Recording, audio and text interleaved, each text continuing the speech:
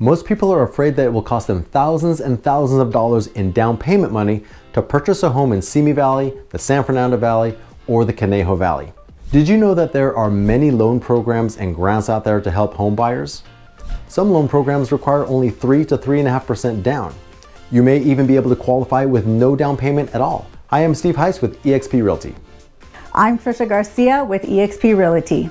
There's no better person to call about buying or selling your home in Simi Valley, the San Fernando Valley, and Conejo Valley.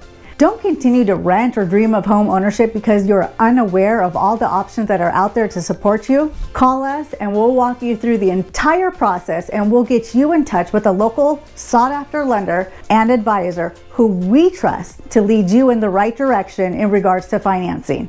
I'm Tricia Garcia with eXp Realty. My partner Steve Hise. And we are here to support you.